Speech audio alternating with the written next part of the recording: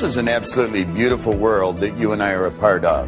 And our stay here should be a magnificent adventure. It should never be a bore. We were created to have and enjoy all the good that life has to offer. You're God's greatest creation, and you are meant to win. Unfortunately, not everyone views the world or their life the same way. Some see it as a very harsh, cruel world, and they're forever struggling to make ends meet or keep a relationship together. It seems they're forever running on a treadmill, going nowhere, never taking the time to enjoy what they have or to see the beauty of the world that they're a part of. Have you ever asked yourself what differentiates the winners from the masses? Well, I have. I've researched the subject now for over a quarter of a century. And I have found that the winners are aware of a certain place within. It's referred to as the higher self. And in this higher self, there's an image of perfection, which is forever attempting to express itself in a greater way. When the winner wants to turn their dreams into physical realities, they call on this higher self. And they set about and change the world, not just for themselves, but for everyone in it. Think of what Edison did. He illuminated the entire world. Alexander Graham Bell hooked us all together. Why, we can just hit a couple of buttons and be talking to a loved one on the other side of the globe. And the Wright brothers, they actually brought us closer together. They introduced us to a brand new kingdom and changed our perception of the world forever. Why, do you know we're not long ways away from anywhere anymore? We're only hours away. I could be working with Francis McDonald conducting a seminar in Halifax, Nova Scotia one day and be away over in Australia with David Walsh doing the same thing the next. And then if I chose, I could just jump on a plane and fly off to Kuala Lumpur in Malaysia and be working with Jeet Singh Peter there the following day.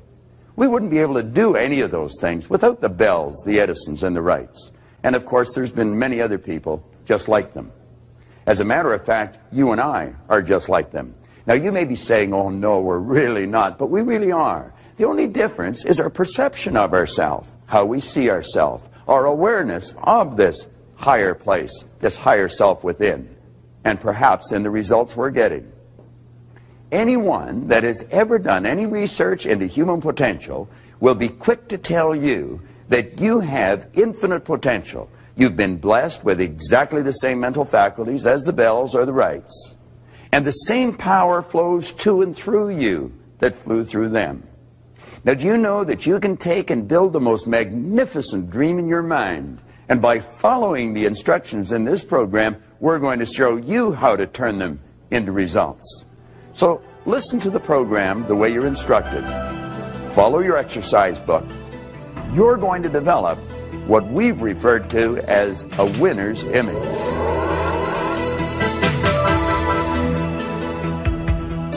Science and psychology have isolated the one prime cause of success or failure in life, and it is the hidden self-image that every person has. Do you know it controls our life just as certain as our mind controls our heartbeat? Now, to remake that hidden self-image for success and fulfillment, to build a winner's image, is to remake our life. If you're wondering what kind of a self-image you have, it's not difficult to figure it out. All it's required is for you to take a look at the various aspects of your life. Take a look at the results you're getting, possibly your relationships, your income, the position you hold at work, the type of business that you're operating with. Take a look at your own personal appearance. These are all the results. They're the outer expression of the inner image. Now, as we alter this inner image, everything outside begins to change. One of the great errors that almost everyone makes is they're attempting to change their income. They're attempting to change their position. They're attempting to change their business. They're attempting to change something outside of themselves without changing what's going on inside. It's like, I think it was Emerson said, of what use to make heroic vows of amendment if the same old lawbreaker is going to keep them? You know, for me to try and change the results in my life, in other words, what's going on outside of me, without changing what's going on inside, would be just about as foolish for me to try and change the reflection of this mirror without changing my physical appearance. It's never going to happen. Well, that's what people are doing. They're trying to change something outside without changing what's going on inside. In 1903, James Allen wrote a marvelous little book. And in that book, he said something that's rich with truth. He said, Mind is the master power that molds and makes. And man is mind. And evermore he takes the tool of thought and shaping what he wills, brings forth a thousand joys or a thousand ills. He thinks in secret, and it comes to pass. Our environment is but our looking glass. As you go through this program, we're going to show you how to alter that inner image and build a winner's image. Now, to remake this hidden self image, we're going to have to understand a couple of things. First of all, we're working with our mind, and we operate with images in our mind. The problem is, no one's ever seen the mind. And so when a person begins to think of their mind, confusion sets in. We're going to have to build a picture of the mind. It's like the little kid in school. He was doodling away drawing a picture, and the teacher said, What are you doing? And the kid says, I'm drawing a picture of God. She says, Nobody's ever seen God. He says, Well, wait till I finish the picture. We're going to have to do what the little kid did. We're going to build a picture of the mind. Now, what I want to suggest is that you let this large circle here represent the mind. Let the small circle represent the body. Now, the line going out here will represent our behavior, and of course, our behavior causes our results. Now, we're going to take that large circle and we're going to run a line right across the center of it, and that's going to divide the conscious mind from the subconscious mind. Now, what we want to realize is that the conscious mind is the mind that thinks, it's the mind that gathers information. But I can assure you of one thing it's not the part of your mind that is controlling your behavior. Your subconscious mind controls your behavior, and it's in your subconscious mind that your old self image is lodged. And that old self image is controlling every act you make, it's controlling all of your results. Now, the self image in your subconscious mind operates almost exactly, if not exactly, as an automatic pilot operates. I want you to imagine that this plane is leaving New York and it's locked on course. After it leaves the vicinity of New York, the pilot sets the automatic pilot. That plane is locked on course for Hawaii. Should that plane get hit with some unexpected turbulence and maybe get knocked off course, the automatic pilot picks up the deviation from the set goal, which is Hawaii. It feeds it through a coordinating mechanism. The thrust of the engines are altered, the flaps are altered, and that plane is brought right back on course again. It will ultimately get to Hawaii. Now, the self image in a person's subconscious mind operates exactly the same way. Let's suppose a salesperson's self image has them locked on for writing a million dollars a year in production. That person may have a big week. They get flying off course, they might write $300,000 worth of business in a week. Their self image will pick up the deviation from the set objective, which is a million a year. They're way off course. It feeds that information, the deviation from the set goal, into the coordinating mechanism, which is the person's nervous system. Their behavioral patterns will change until they're back on course. Ultimately, at the end of the year, they've written a million dollars, even though they had a week at three or four hundred thousand. It's the same with a student in school. Let's suppose a student's self-image dictates that they're getting a D average in school. Now, the parents, the teachers may turn the heat up, really pour the coals on, and the child will go in and have a test, and he may come out with a B plus on that test. But that is not consistent with the child's self-image. The self-image picks up the B plus, deviation from the set objective. It feeds it into a coordinating mechanism. The child's behavioral patterns will change until they're back on course, and ultimately they're right back to a D average. If they want that child to get a B, if the salesperson wants to increase the business, they're going to have to alter the self-image.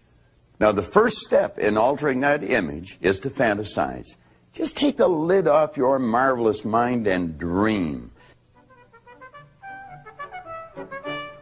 A German engineer by the name of Carl Benz had a fantasy, and he literally turned his fantasy into a fact.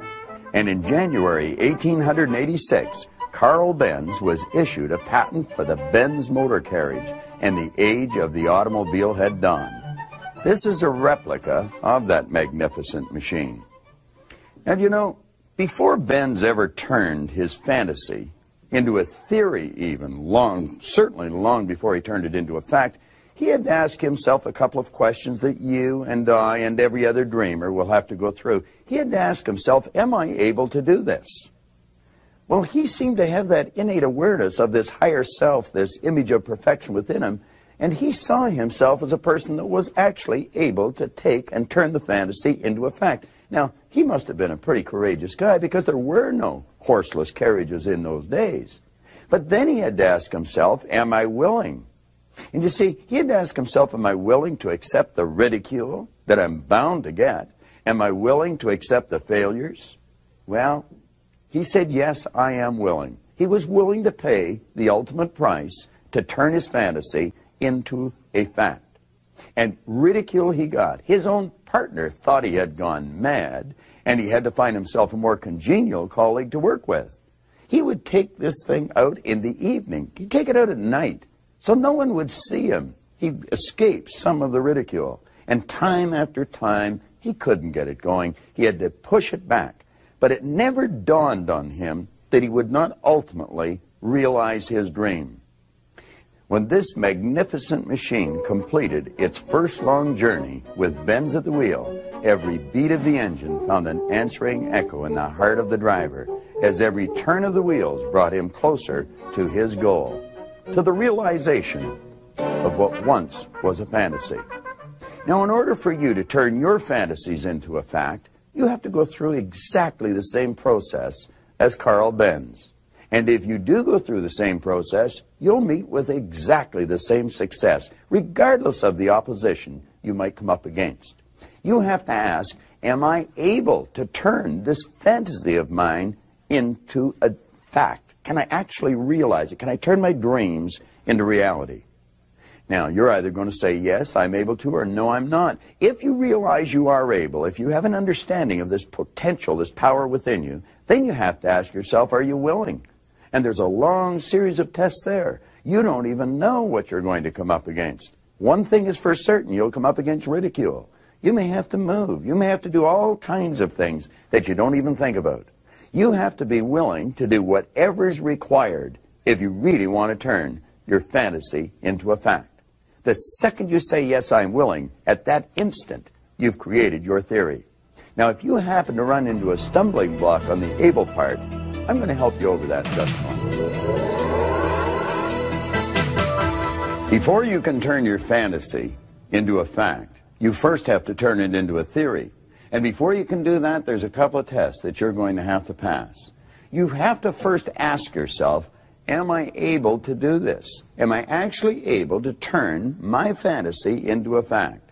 Now, generally, when a person doesn't know how to do something, they say they can't do it. The truth is they can.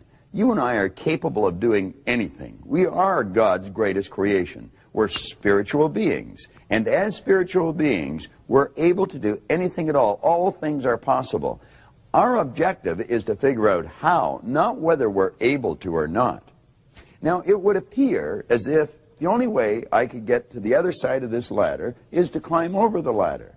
But the truth isn't always in the appearance of things. You see, I could just walk through this ladder. Now, where I might have used an illusion to get this point across, you might want to think of this for a second. All obstacles are illusions, but the obstacles cause us to have doubts in our mind. Are we really capable of doing this? You know, if you had formed the attitude that every obstacle is an illusion, just like this ladder, I didn't have to climb over it. I could just walk right through it. Well, you may not be able to walk through some of the obstacles, but I can guarantee you this. You're able to figure out how to get around them, how to get over them, or how to get to where you want to go. You're able to do anything. So get the idea about whether you're able or not right out of your mind. You're quite capable of doing anything that you want to do. You can turn your fantasies into facts, just the same as Edison or Carl Benz did. The question now you want to ask yourself, am I willing to? Am I willing to do whatever is required to realize my dream? You can answer yes to that question. Like that, you've built a theory in your mind and you're well on your way. Now let's review what we've done. We've built our fantasy. We've admitted we're able to do it. We said, yes, I'm willing. And what we've got is a theory. We've got a dream. We have a winner's image in our conscious mind. Now our objective is to firmly plant it and let it take root in our subconscious mind so that it will change our behavior and change our result. To properly deposit your winning image in the treasury of your subconscious mind, it's vitally important that you remember the first law of learning. It's repetition. Use this program every day over and over and over again for 90 days. Now, this might not make a whole lot of sense to you, but I want to suggest that you take a half an hour, possibly first thing in the morning, or maybe just before you go to bed at night, and put this videotape on and watch it every day for 90 days you'll find that all the important points start to get burned right into your mind. And it'll also start to change your life. You're going to develop a heightened awareness of all the key points of this program. Take the audio cassettes from this program, clear your car of all other cassettes, and just put these three tapes in. And all the time you're in the car, play these audio cassettes. Now you're going to find that you'll be able to talk right along with me. You're going to know the next word that's coming. And you're going to find that these ideas are going to become a part of your way of living, a part of your way of life. Begin to visualize yourself with some of the nice things you'd like to have. Possibly the home that you'd like to live in. It may be the business you want to build or the position you'd like to hold. Possibly the income you'd like to earn. You may want to visualize the vacation that you'd like to take. What is important is that you do visualize. It's not only important that you watch the video cassettes every day and become very familiar with them, or listen to the audio cassettes on a regular basis. It's vitally important that you set aside 10, 15, maybe 20 minutes at least three times a day to completely clear your mind, block out any distractions, let yourself totally relax, and begin to see yourself actually living the life that you've imagined yourself living. See yourself the winner that you want to be. And let all these beautiful pictures sink deep into every cell of your being. In other words, add a lot of emotion to it. When you watch the top movie stars like George C. Scott or Katharine Hepburn or possibly Peter O'Toole, the Oscar winners, they're not acting, they're literally living the part. And as you visualize yourself living the life that you want, let yourself feel yourself living it. In other words, burn these ideas deep in your mind and then start making a written description of them. Now, after you've made the written description, just freeze it. Stand back and take a real good look at the written description of your vision and then compare it to how you're actually living. Then you'll see the changes that have to be made and begin making those changes one at a time. There are hundreds of changes you could make, but a good place to start would be with your own personal appearance. Something as simple as how you dress and how you walk and how you project yourself sends a strong message to everyone in your external world, but it also sends a very powerful message to your subconscious mind. You know, Cary Grant, which wasn't even his name, he even changed his name to Cary Grant.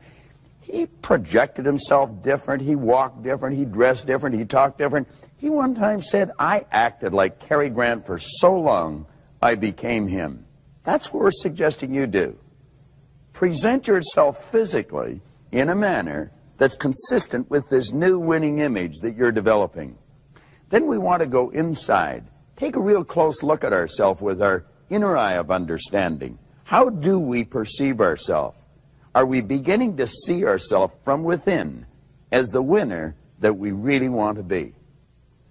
When you look at this picture, do you see a beautiful young lady or an ugly old lady?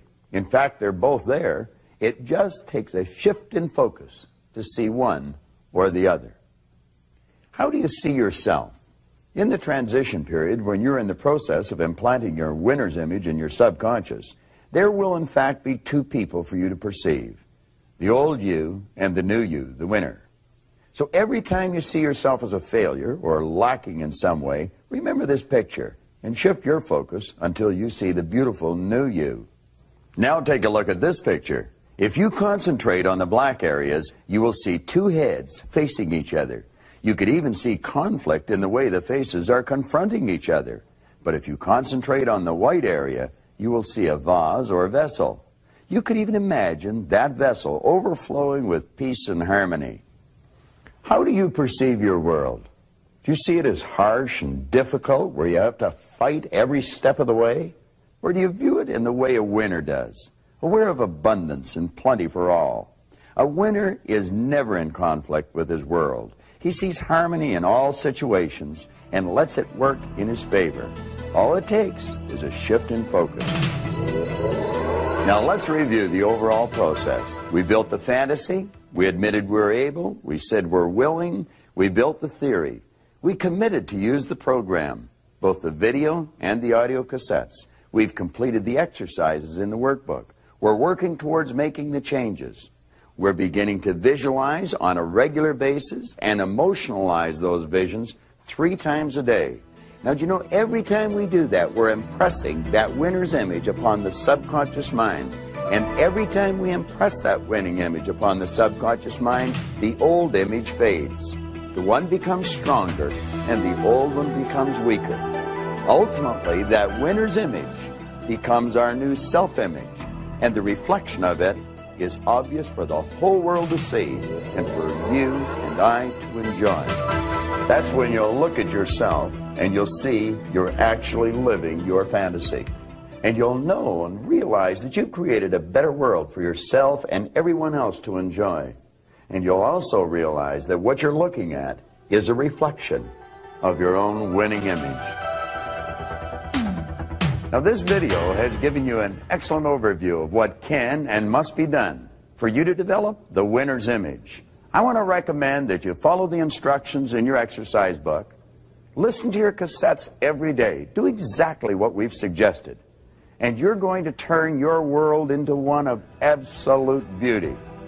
Remember what Emerson said what lies before you and what lies behind you are actually tiny matters compared to what lies within you an image of perfection. Keep developing that winner's image.